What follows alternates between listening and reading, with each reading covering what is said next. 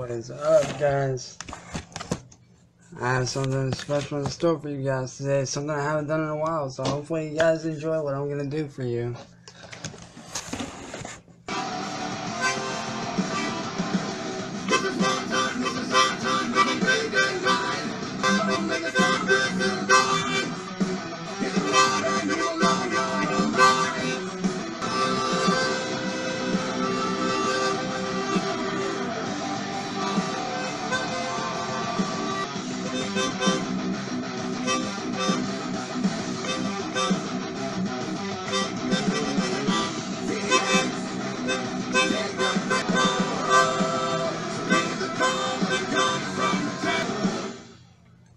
And that was Immortalized by Disturbed.